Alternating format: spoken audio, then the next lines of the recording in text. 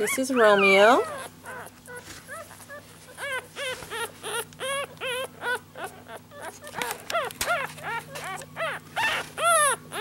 Romeo has a little brown on his paw. And he has a little, maybe a little bit of brown in his eyebrows and cheeks. But a tad bit. White on his chest. I think one paw is white. Let me see here. All the paws seem to be white. His tail is docked. And his dew claws removed. And let's see how much he weighs.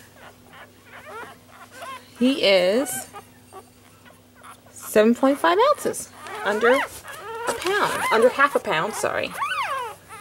16 ounces, one pound. So 7.5 would be half, a little under half a pound. And this is his face. He's a cutie pie.